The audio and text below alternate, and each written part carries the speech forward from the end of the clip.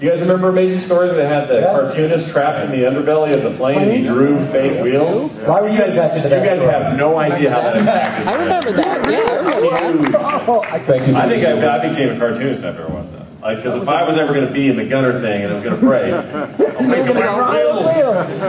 Uh, all right, we got time for one more. Let's pull one over here. Your hand was up first, I think.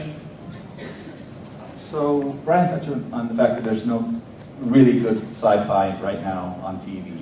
Uh, Defiance is good. Continuum is, is nice as well. But I remember a time when there was, I think, three Star Treks and uh, Deep Space Nine uh, and Stargate. Stargate, Yeah. and uh, BSG. Stargate Atlantis. Stargate Atlantis. uh, so, so my question is, no, Stargate SUV. Or wait. SUV. that, that was one. Las Uh, Vegas. Stargate Las Vegas. I preferred Star Trek Wyoming. Also starring Katee Sackhoff. that was Enterprise, I believe, no? Um, so my question is, why isn't there? And uh, what uh, franchise from uh, books or otherwise could make it and, and fill that niche of the good, the very good sci-fi? There's there's only question. one franchise that, and I don't know how how they'll crack it, and I don't believe it'll end up being good, but it is near and dear to my heart.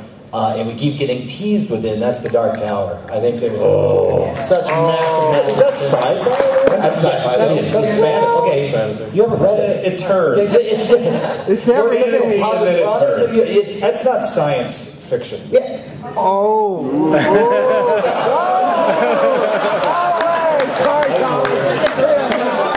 Go watch Casablanca. Wait, this is, this is my favorite series of all time. Isn't it yours? Oh, yeah. It's an amazing book. I'd say it's a mix. It's definitely got fantasy elements. It's also, a big old fat western half the time, which I love. Sure, stylistic. It's amazing.